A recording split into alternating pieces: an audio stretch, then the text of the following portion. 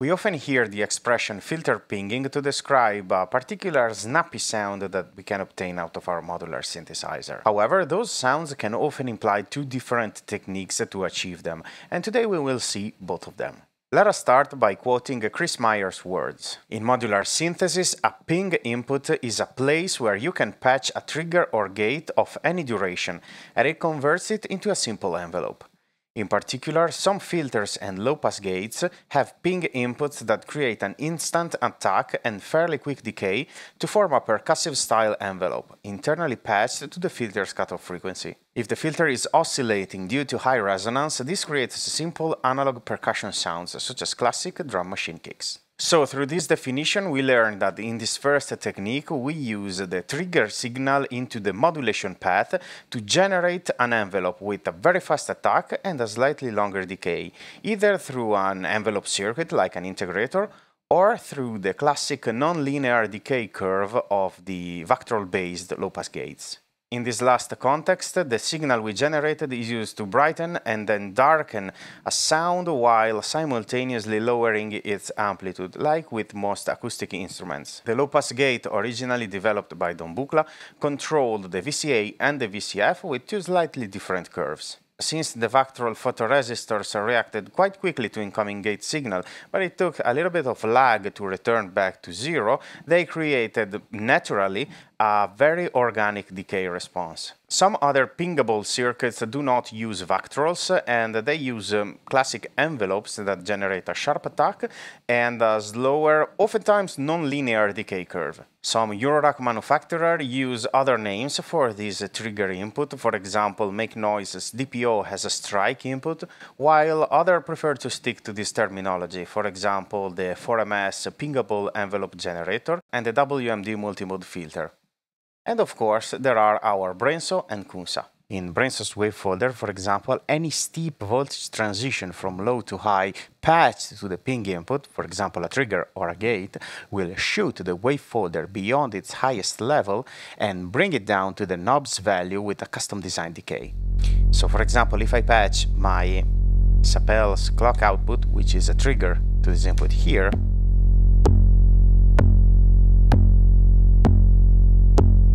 I will have this decay that I can adjust through this knob here and make it longer or shorter.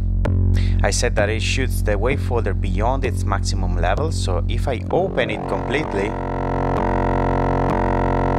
I still have room to hear this pinging sound. And if I close it completely, I can obtain perfect silence between one strike and the other this circuit here only detects the rising voltage. So for example, if I am using the end of rise gate signal, which has a duration,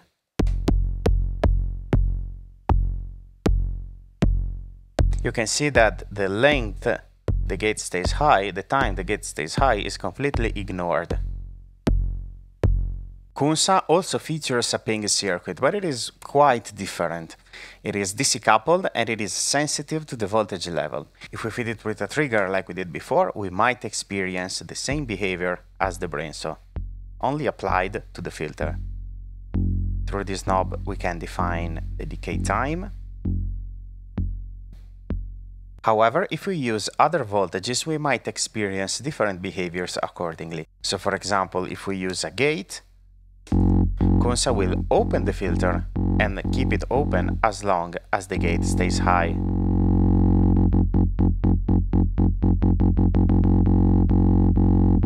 Compare it to Brenso's wavefolder. It can be thought of as a non-linear slew limiter that integrates only the falling stage. Sample and hold signals, LFOs and envelopes will all have a longer transition from the high voltage to the low one.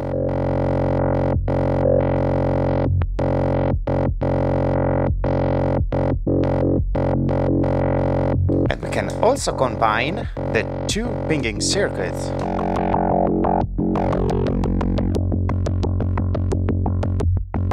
Like this, by feeding the clock to Brenso's ping circuit and the sample and hold to Cunsa's one, or we can use the straight clock to the Cunsa and the random clock to Brenso's 1. To sum up the ping differences between Brenso and the Cunsa, we can say that Brenso has a circuit that detects only a rising pulse and generates an immediate decaying envelope with fixed amplitude and fixed length defined by the knob. Cunsa, on the other hand, has a circuit that integrates any high to low voltage transition and retains every voltage information, duration, magnitude and trajectory. Brenso's target is a wave folder that can completely close to achieve perfect silence, while Cunsa's uh, target is the cutoff frequency. However, since Cunsa is a multimode filter, we might experience dramatically different behaviors when we monitor different outputs of the same filter. A low-pass filter will brighten the sound and then darken it. A high-pass filter, on the other hand, will slim the sound up to its higher overtones and then open the low end back.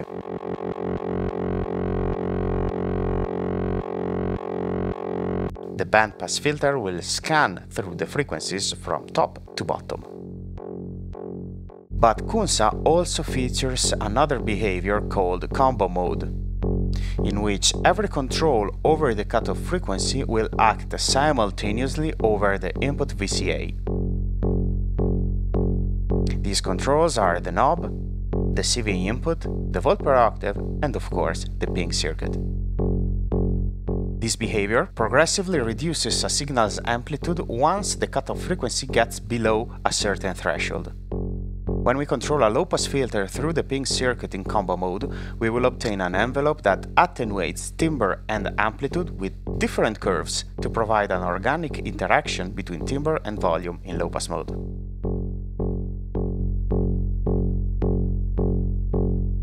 If we disable the combo mode and use Cunsa only in filter mode, we retain more low end.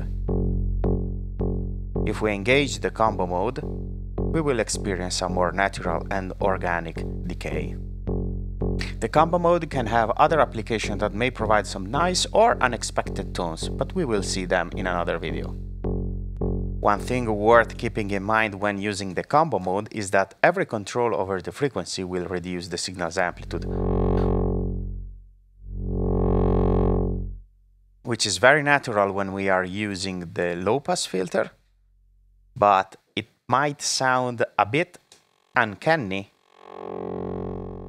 when we use the high-pass filter.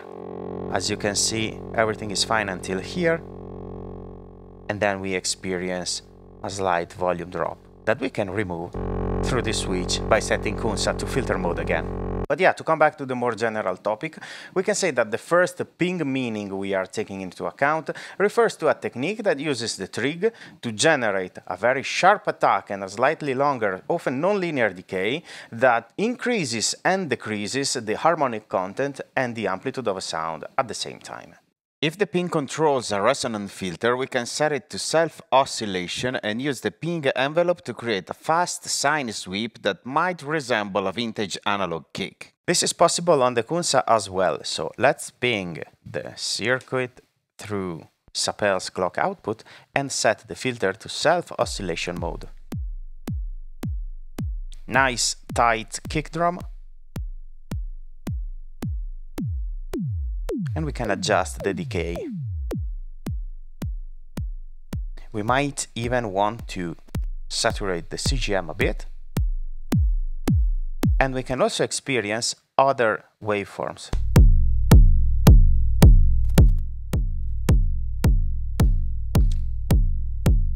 Like the bandpass, which has a longer rumble. And if we apply the combo mode, we will skim a bit of the low end. But now let's move on to the second technique. For the second ping meaning, we need resonant filters and no sound at all. This technique is also called pinging very often, but another term is ringing that we can find in Allen Strange's electronic music at page 152. One of the more interesting applications of this type of filter, meaning the resonant filters, is called filter ringing.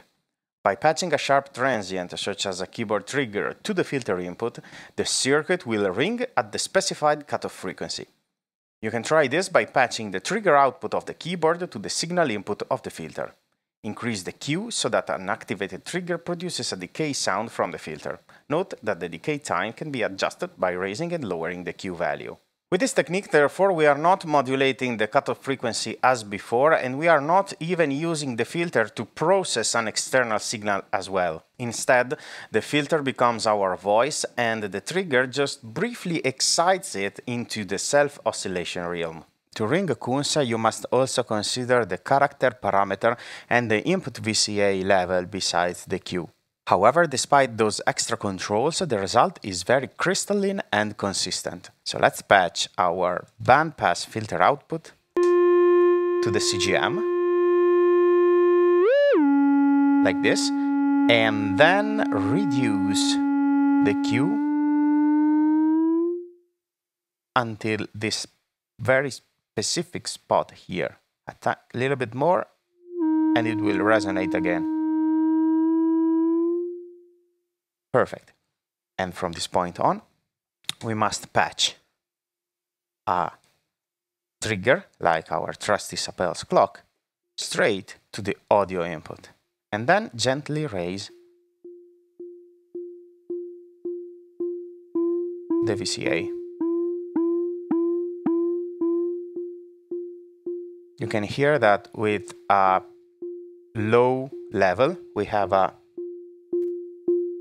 very gentle pinging sound.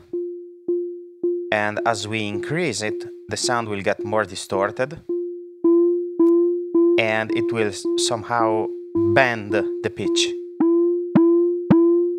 like this.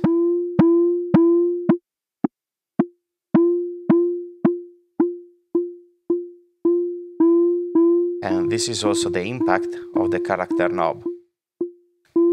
All these colors are nice and useful and I encourage you to experiment with this setting and find your preferred one. We can also reduce the length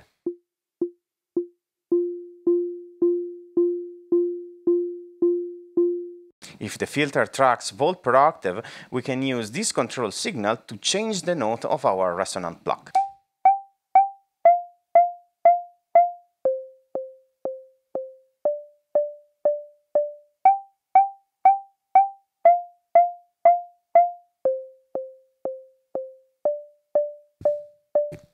But since Cunsa is a quadruple filter, we can set all the filters to the same VCA, Q and character settings and monitor them through the all output.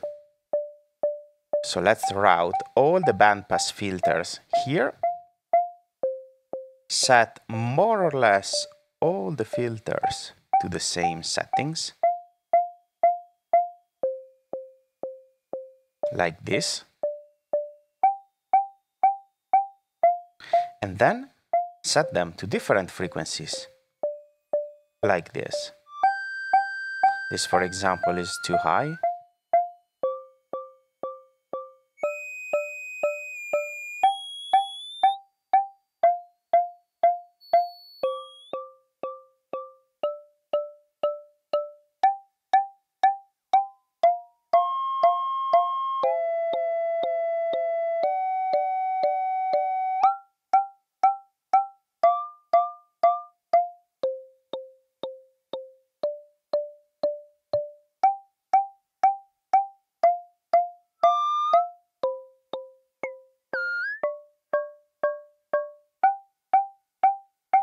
Please note that with this patch we are using those two signals and through the semi-normalization we are using them to control four filters at the same time. While the first technique is often associated with Buchla systems, this second one is a little bit harder to implement over there due to Buchla convention of keeping modulation and sound separate with different connectors and different cables. If we want to find a vintage example of this application, we can look at Serge's synthesizers, especially the filter that featured a trig input dedicated to make the filter ring. Another thing is that the original Buchla low-pass gate wasn't resonant. So to sum up, the two techniques' only similarity is the use of trigger signals to create percussive sounds with a sharp attack and a slightly longer decay. For these reasons, even if pinging can often refer to both techniques, here at FrapTools we prefer to use it to talk about technique number one and to use ringing to refer to technique number two, following Allen Strange's convention. But still, the big takeaway is that with the Cunsa filter you can do both. And with that being said, I think that we can have it here for today. I hope you found this video useful and I will see you next time.